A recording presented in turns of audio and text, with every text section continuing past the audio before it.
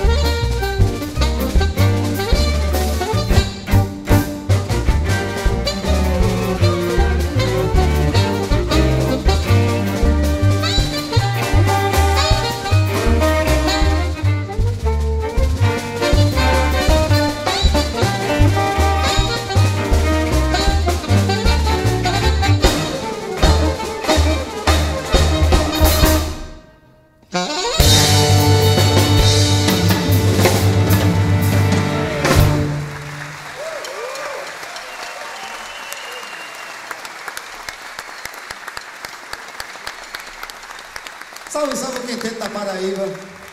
Os bichão, os miseráveis mesmo. Pega essa frase hoje do final. Rapaz, parabéns, viu? Que maravilha.